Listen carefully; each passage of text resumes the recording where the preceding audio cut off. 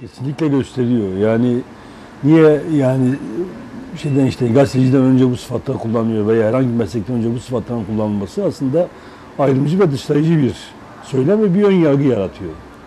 Yani şimdi Ermeni gazeteci. Ne demek Ermeni? Yani gazeteci ise gazetecidir. Ya da işte iş adamı ise iş adamıdır. Niye? Yani bir algı yaratmak amacıyla e, bu şekilde bir sıfat kullanılıyor ve özellikle etnik kimliği ön- önde önde kullanılıyor. Bu çok yani Türkiye'de çok yanlış E, ve maalesef birçok ayrımcılığa ve dışla, dışlayıcıya yol açan bir tutum bu.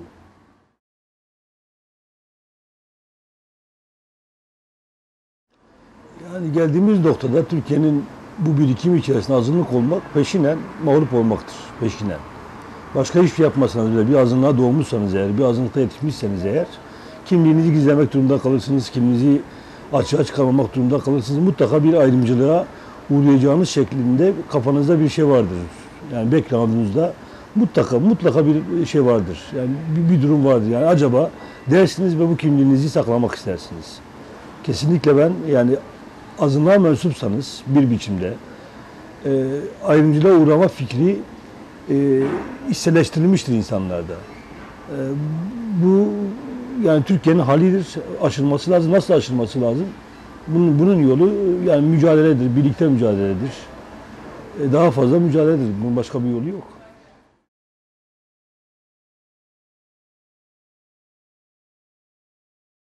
Kürtler devletin eliyle böyle bir hizmeti alıyorlarsa e, yani isterseniz yani 5 kişi olsun 10 kişi olsun veya hiçbir tehdit gücü olmasın aynı hizmeti çok az sayıda olan başka grupların da alması lazım.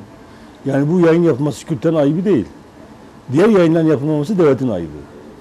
Olaya öyle bakmak lazım. Yani tersinden okumak lazım. Devlet bir neden bugüne kadar dilleri yasakladı, ana dilleri yasakladı? Neden yasakladı? Niye niye diğer dillere di- diğer dillerde e, Türkçe gibi hizmet vermedi? Yani bu, bunun, bunun sorunun muhatabı devlettir ve devlet aklıdır aslında. Sorunun muhatabı. Sorunun muhatabı Kürtler değil. Kürtler tamam yani sonuç itibariyle entegre olmadılar, asimile olmadılar. Asimilasyon ça- çabaları 100 yıl boyunca devam etti ama olmadılar ve şimdi nüfus olarak da e, yani Sunni olmalarından kaynaklı avantajlarını kullandılar e, ve azalmadılar, göç etmediler. Bulundukları topraklarda esas itibariyle kaldılar, esas itibariyle. Her zaman çoğunluk oldular bulundukları topraklarda ve bütün Türkiye'ye yayıldılar. E, bu e, onlar bakımından e, işte çok az da olsa bugün bugün açısından kültürel haklarını kullanma imkanı yarattı ama e, diğer diğer halkların da ya da diğer grupların da yani kendisini bir biçimde azınlık olarak tar- tarif eden herkesin e, devlet eliyle bu hizmetleri alması lazım. Size bir şey anlatayım. Bundan kaç yıl önceydi şimdi hatırlamıyorum da 5-6 yıl önceydi. E, Süryani e, papaz Diyarbakır'daki kilisenin e, papazı bir, şeyler söylemişti falan. Ne söylediğini şimdi hatırlayamıyorum. Ve sonuç itibariyle Devlet Güvenlik Mahkemesi'ne yargılanmaya başlandı. E, halkı işte kin, nefret bilmem neyle falan filan kışkırtmaya teşebbüs etmek ya da işte propagandasını yapmak suçundan dava açıldı aleyhine. Ben de avukatlarından bir tanesiydim. Savcı Berat kararı isterken gerekçesi şuydu. Ee, yani zaten çok azdırlar, tehdit güçleri yoktur bunlar. Dolayısıyla sözleri şeyler olsa, yani işte suç kapsamında olsa bile bunlar azalmışlardır. Hiç kimseyi yani e, şey yapamazlar, tehdit edemezler.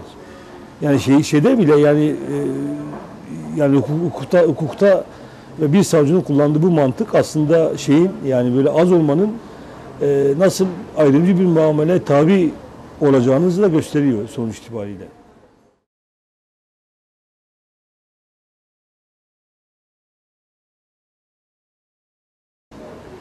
Medya yani kesinlikle kendi dilinde ve kendi politikasında yaklaşımında ayrımcı söylemi dışlamalı. Kesinlikle dışlamalı. Ama bu bir sadece bir temenni Türkiye'de. Yani bir temenni ederiz ama olmayacağını da biliriz sonuç itibariyle. Çünkü şey yani bunun şeyi var ayrımcı söylemin Türkiye'de müşterisi var. Bu müşteri olduğu sürece medya bu şekilde kullanacak. Çünkü sonuçta az ve taraf meselesi ve zihin meselesi toplumda yani bu zihinsel kökleri atmadığınız sürece medyada da atamazsınız zaten. Yani medya, medyayı oluşturan kimler? Yine aynı insanlar. Yani bizden insanlar, toplumun insanları. Dolayısıyla bir o müşteri şeyinin bitmesi lazım. O talebin bitmesi lazım toplumda.